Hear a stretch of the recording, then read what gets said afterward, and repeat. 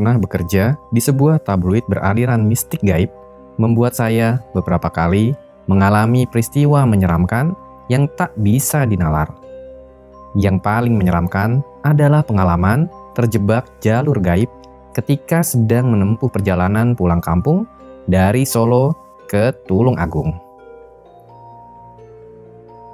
Sekitar pukul setengah dua pagi, mata saya belum bisa diajak tidur. Hari itu, saya punya rencana pulang kampung dan sarapan di rumah.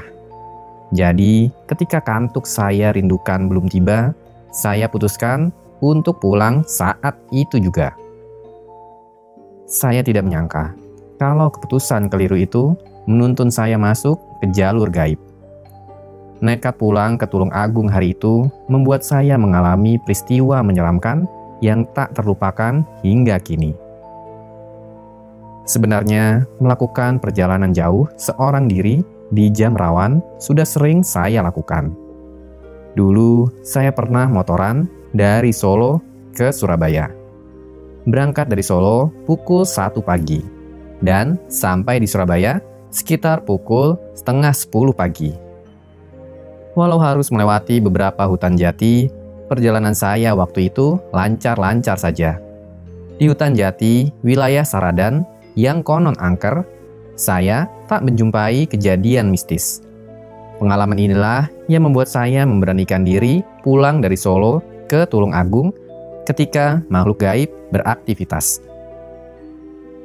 Usai menutup gerbang kos, motor saya lajukan dengan perlahan. Perjalanan dari Solo sampai perbatasan Sukoharjo, Wonogiri pagi itu berjalan lancar.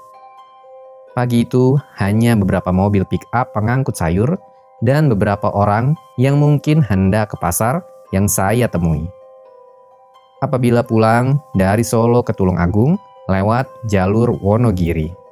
Untuk memangkas jarak, saya punya kebiasaan lewat jalan terabasan yang terletak di daerah Sidoarjo meski jalannya rusak dan sering terlihat singklu karena di salah satu sisi jalan terdapat punden.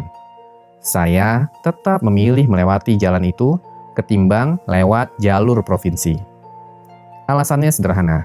Dengan melewati jalan itu, saya bisa memangkas jarak sekitar 2 km. Biasanya ketika lewat sana tidak terjadi apa-apa. Tetapi pagi itu beda. Usai membunyikan klakson tiga kali saat lewat punden sebagai tanda permisi, tiba-tiba dengkul saya ngowel dan terasa lemas seperti tak ada tenaganya. Kejadian semacam ini tak pernah saya alami sebelumnya. Saat itu, saya belum sadar kalau sudah terjebak jalur gaib. Selain dengkul terasa lemas, tiba-tiba jantung saya berdegup lebih kencang. Tidak berhenti di sini, usai melewati punden yang berbentuk pohon tua itu, muncul perasaan tak enak. Imajinasi-imajinasi menyeramkan mulai muncul. Untuk menghalau pikiran-pikiran menyeramkan ini, saya mulai membaca ayat kursi. Kata guru ngaji saya, ayat ini ampuh sebagai penolak gangguan setan. Anehnya, perasaan tak enak malah kian menjadi. Mungkin karena jarang mengamalkannya, membuat ada bagian yang terlewatkan. Usai lewat jalan terabasan tadi, dan motor Supra X keluaran 2005 yang saya kendarai mulai ngaspal di jalur provinsi Wonogiri, Ponorogo. Keadaan tak kunjung membaik. Dua tahun lewat jalur Ponorogo Wonogiri membuat saya hafal betul keadaan kiri kanan jalan. Tapi pagi itu pemandangannya berubah total.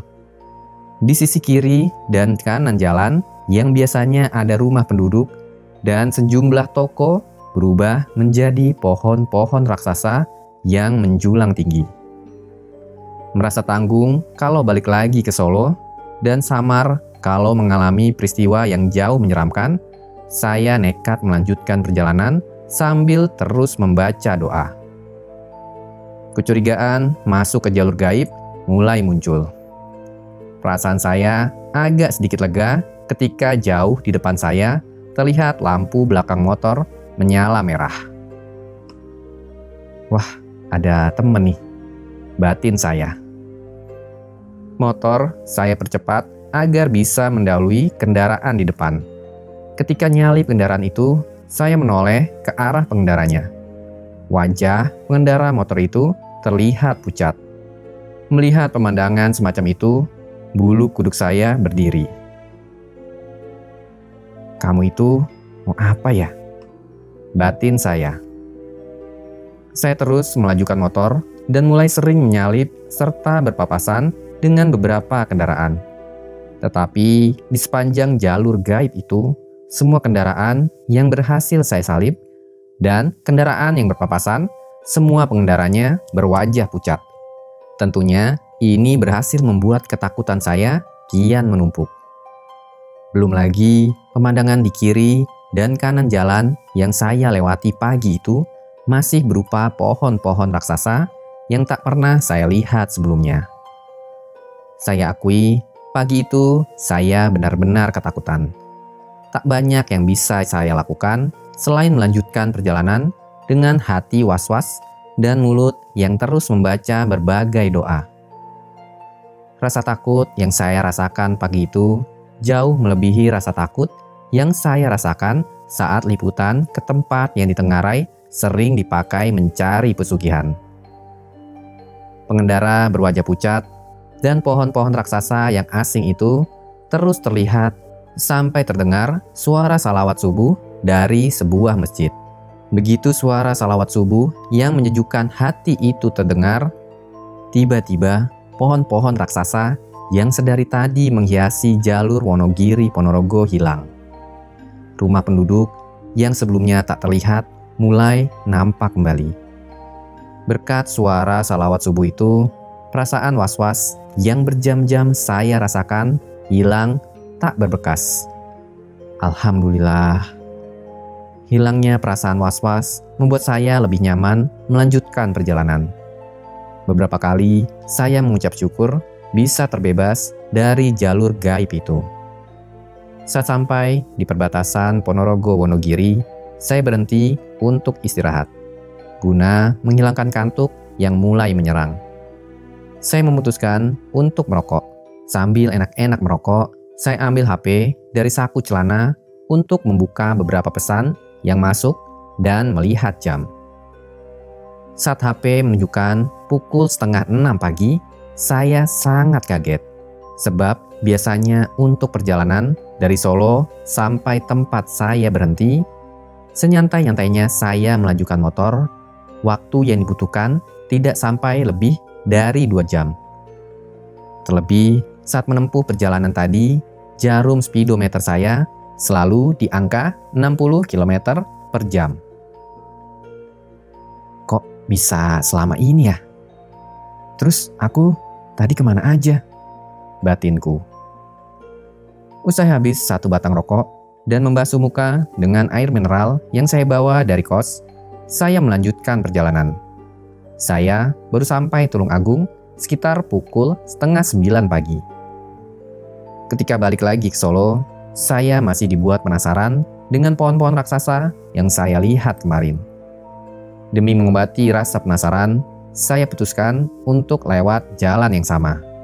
Anehnya, pohon-pohon raksasa yang saya lihat pagi itu tidak terlihat lagi. Memang di jalur itu masih ada beberapa pohon besar yang tumbuh di kiri kanan jalan. Tapi pohon itu berbeda dengan pohon yang saya lihat waktu pulang kemarin.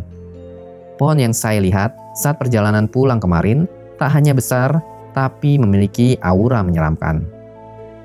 Suatu ketika, setelah selesai wawancara dengan seorang tokoh spiritual, Sambil ngobrol, peristiwa menyeramkan yang saya alami saya ceritakan kepada beliau. Beliau berkata, Alhamdulillah mas, sampean bisa keluar dari jalur gaib itu dalam keadaan selamat. Lain kali, kalau bisa, jangan melakukan perjalanan di jam-jam itu. Bahaya. Jam-jam jelang tarhim subuh itu, jam-jam makhluk halus pulang Biasanya mereka itu suka jahil. dan bentuk kejalannya mereka itu seperti yang sampean alami itu mas. Usai mendapat pengetahuan ini, mulai saat itu sampai sekarang, jika tidak dalam keadaan sangat terpaksa, saya tidak akan melakukan perjalanan ke mana pun sebelum terdengar suara tarhim subuh dari masjid. Saya kapok dan tidak ingin mengalami berkendara di sebuah jalan yang gaib lagi. Baiklah, sekian dulu episode kali ini. Terima kasih buat teman-teman sekalian yang telah mendengarkan cerita ini. Jaga kesehatan dan sampai jumpa lagi di episode selanjutnya.